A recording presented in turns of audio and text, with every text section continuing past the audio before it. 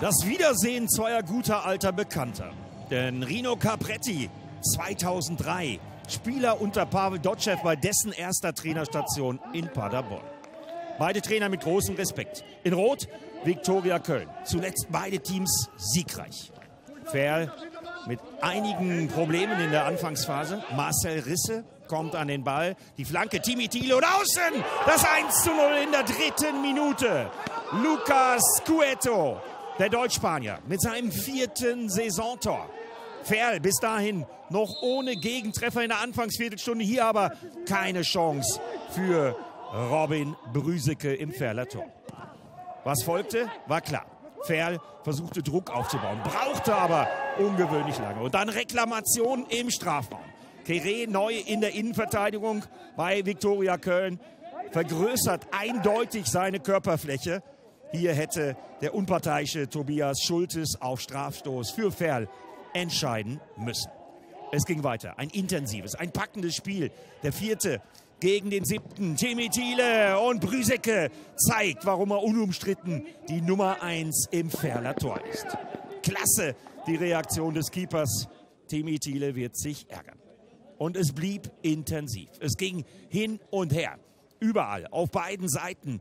Tolle Szenen aber die Verletzung nicht so toll. Vor allen Dingen nicht für Pavel Dotschew.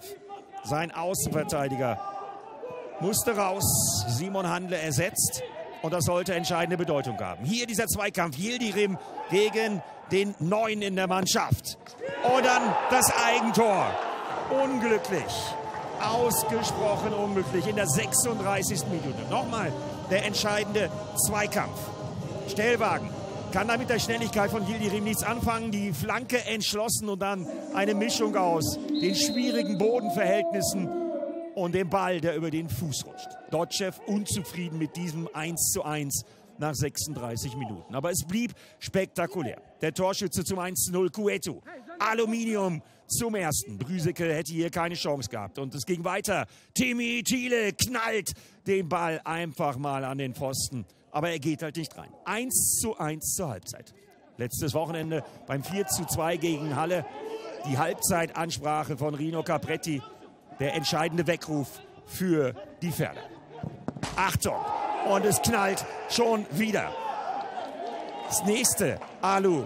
Diesmal von Kasim Rabihic, aber ganz stark auch die Reaktion in der 68. Minute von Sebastian Mielitz. Ein ungeheuer intensives ein packendes Drittligaspiel. Der eingewechselte Michael Seaton.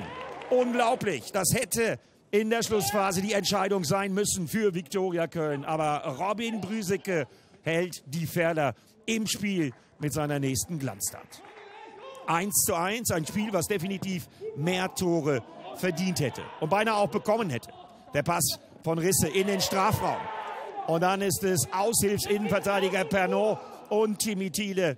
Dotschew winkt ab. Es gab eine Berührung. Eine Kann-Elfmeter-Entscheidung wäre hier drin gewesen. Muss man nicht, kann man aber. So saß auch Pavel Dotschew an der Außenlinie. Eine packende Endphase eines klasse Drittligaspiels. Zwei Mannschaften, von denen man in dieser Saison viel hören wird. 1 zu 1. Thomas Wagner mit den Stimmen. War auf jeden Fall ein intensives Spiel. Beide Mannschaften haben sich nichts geschenkt. Ähm ich glaube, dass wir haben hier zwei Punkte liegen lassen. Ähm, ich glaube, wir waren die bessere Mannschaft, wir hatten die besseren Torchancen. War ein offenes Spiel, ein offener Schlagabtausch teilweise. Ich denke für den Zuschauer ein gutes Spiel. Und äh, ja klar, also den Punkt nehmen wir mit. Ich bin äh, zufrieden, bin ich immer, wenn die Mannschaft alles gibt. Ein Spiel, was definitiv eines hatte, einen extrem hohen Unterhaltungsfaktor. Alle Spiele der dritten Liga live. Nur bei Magenta Sport.